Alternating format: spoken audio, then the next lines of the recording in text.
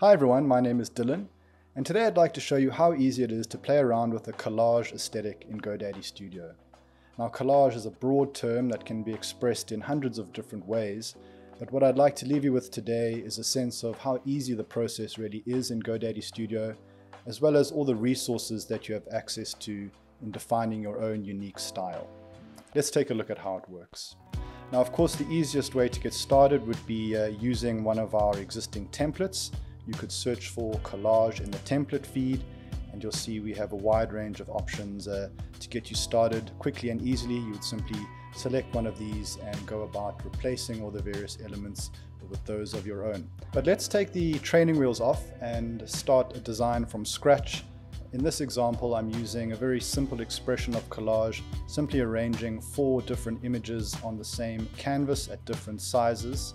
Now the most important concept to get to grips with in collage is uh, layering. Now if I tap on this uh, sandwich icon at the top right of my screen, uh, that'll present my layers view.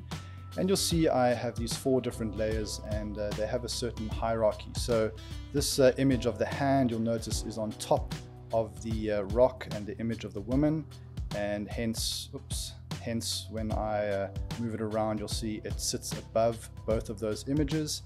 But now if I go back to my layer stack and I drag that layer underneath both of those, you'll see that is now expressed on the canvas where this uh, image is now behind the other two. And of course you can start to develop layering by putting it somewhere in the middle. You'll see now that image falls behind the rock and uh, in front of the woman.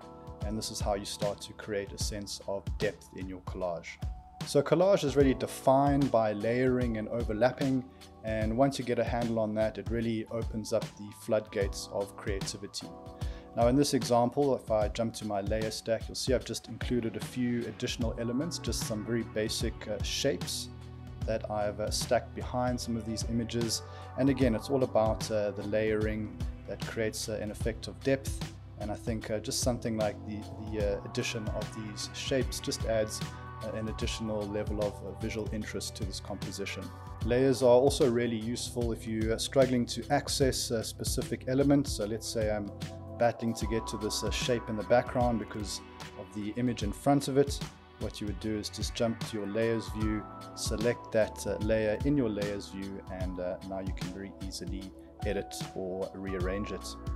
Right, now things really start to get interesting when you begin to add some graphics into the mix because we just have so many incredible options for you. Now in this example I found a pack that I really like. It features these uh, kind of papery cutouts. If I just hit replace here we can jump into that collection. It's called Hand Cut Collage Volume 1 by Paper Whistle Studio and you'll see there are all these really cool kind of random cut out bits and pieces of paper which uh, I really I really enjoy. So uh, I've gone with this option and you'll see in my design I'm really just uh, playing around with different elements from this specific graphic pack. But of course we have uh, dozens of these different packs to choose from and uh, the nature of the uh, graphics that you choose will of course start to define a particular the end result of your collage.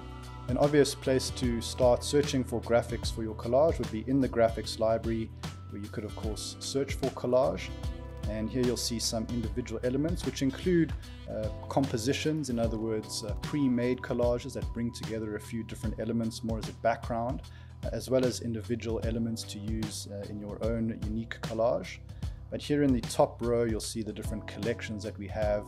And within here, there are many of them have 50, 60, 100 plus different elements to choose from. It's really just about navigating according to your own graphic style and uh, specific ideas that catch your attention. Collage is really just about exploring different combinations, so feel free to dip in, mix and match. Uh, there's really no limit on your imagination here. And then of course, uh, don't forget about text as an additional element in your collage. You can of course start experimenting with uh, different types of fonts at different sizes and uh, that can really add a lot of interest as well as some uh, vital information to your collage if you are doing it uh, as a post with a specific function. Don't forget you can crop your images too, so we've been focused on a rectangular image up until this point, but if you tap edit on uh, any of the images, you'll see Here at the bottom there's a crop function. Uh, you can make it square, custom, any possible dimensions or in this instance I've gone with a circular crop with all the images and that in turn I think uh, drew me towards some rounder, more curved uh, graphic elements for my collage design. If you'd like a more roughly cut out look for a specific type of collage, then I'd urge you to try the mask tool and you can just uh, drag that around just for a very rough kind of organically cut out look and then again just using layers to integrate that into your design.